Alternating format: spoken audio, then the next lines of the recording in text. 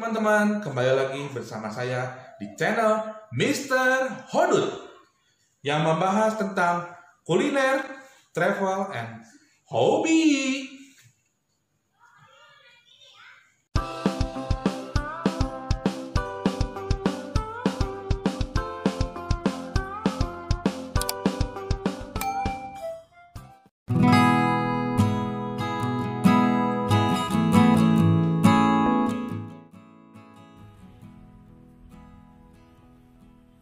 Teman-teman, kembali lagi di channel Mr. Hodut. Yo, yo, yo. Nah, di video kali ini Mr. Hodut eh, janji sama teman-teman udah mau ngebahas tentang ekor sobek teman-teman ya. Jadi eh, ekor sobek itu ada beberapa yang pengalaman dari Mr. Hodut itu ada beberapa penyebab ekor sobek ya teman-teman ya. Biasanya seperti itu. Nah, Mr. Hodut bakal bahas satu demi satu ya teman-teman ya. Penyebab yang paling pertama ekor sobek biasanya tuh eh, dari masalah air teman-teman. Kalau airnya teman-teman gak cocok airnya teman-teman gak cocok sama si ikan cupangnya biasanya tuh si ekornya jadi sobek teman-teman. Biasanya seperti itu karena eh, mungkin di kandungan airnya ada eh, apa ada partikel-partikel apa yang kita nggak tahu jadi bisa membuat si ikan cupang itu jadi kering dan sobek teman-teman. Biasanya seperti itu. Itu yang biasanya paling yang sering menjadi faktor paling utama kalau ikan cupang jadi sobek teman-teman. Itu yang satu. Itu pengalaman Mr. Horus ya teman-teman ya. Nah yang kedua eh, apa? Kenapa penyebab ikan cupang bisa sobek? Yang kedua itu adalah masalah dari eh, si ikan cupangnya sendiri teman-teman. Ikan cupangnya kena penyakit atau enggak teman-teman? Biasanya kalau udah kena pinroot atau kena penyakit eh, ya biasanya pinroot sih teman-teman yang paling sering bikin ekor jadi sobek teman-teman ya Nah, kalau ikan cupangnya kena pinroot, jadi ya biasanya lebih cepat eh, sobeknya parah teman-teman. Jadi bakal mungkin dosa jadi sobek, ekor sobek, anak sobek ya. Itu penyakit karena eh, apa yang menyebabkan ikan cupang jadi jadi sobek-sobek ekornya teman-teman. Dan yang itu yang kedua. Nah, yang ke, yang ketiga biasanya eh, ikan cupang kenapa bisa jadi sobek ekornya karena apa pada saat yang kemarin teman-teman. Jadi saat pemindahannya teman-teman. Pemindahan dari satu toko, uh, akuarium ke akuarium lain biasanya itu karena uh, mungkin pakai serokan yang kemarin teman-teman. Serokan yang yang kecil itu teman-teman. Nah yang itu bakal tunjukin deh. Ini serokan mungkin serokan seperti ini. Nah ini pengalaman misalnya teman-teman ya. Nah jadi jadi sobek teman-teman. Si ekornya karena si ikannya merontak-rontak di sini memberontak di sini. Jadi uh, sobek teman-teman si ekornya ya itu yang ketiga teman-teman ya.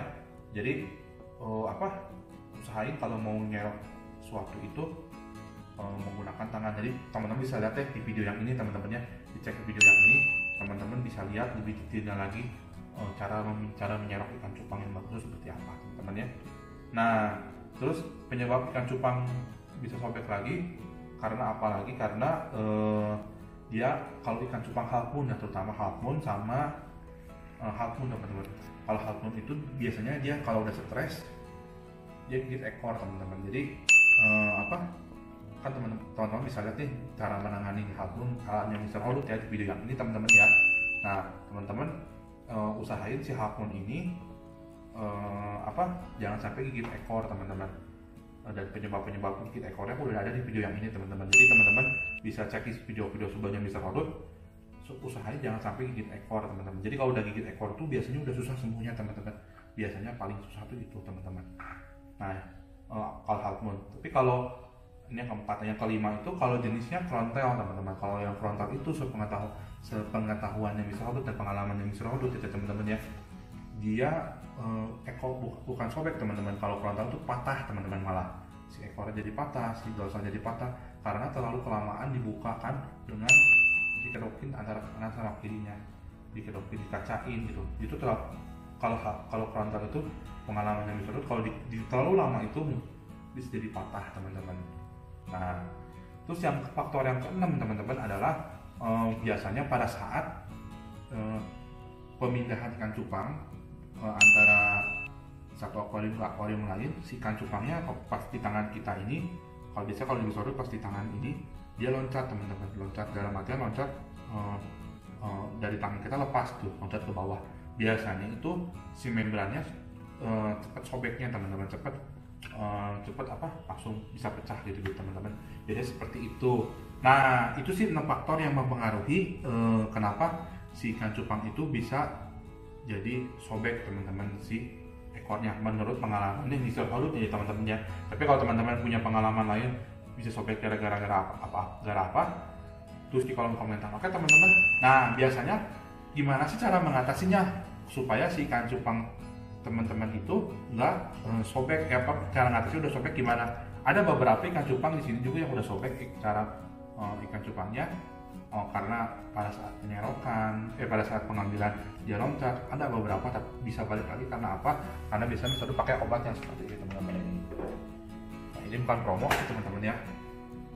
Tapi biasanya kalau misalnya pakai obat seperti ini jadi banyak macam-macam obat di eh, buat ikan cupang ada melapik, ada tritmi, nah misalnya kalau misalnya pakai tritmi teman-teman ya.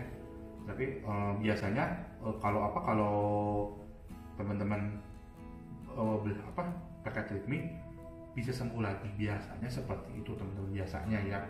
Dan apa uh, tapi nggak nggak nggak nggak 100% bisa balik kembali ke awal teman-teman ke ikan apa bentuk yang awal. Jadi usahain enam faktor yang tadi di diminimalisir supaya si ikan cupang itu tidak sobek oleh teman-teman. Maka teman-teman ya udah teman-teman. Semoga video ini bermanfaat bagi teman-teman. Video ini bisa oh, bisa menjawab pertanyaan teman-teman ketika kenapa sih kan cuma bisa sampai ekornya bisa dijawab dengan video ini? Oke teman-teman jangan lupa di like di komen and di subscribe ya teman-teman dadah teman-teman. Dan jangan lupa juga follow IG-nya Mr. Hodut oke teman-teman?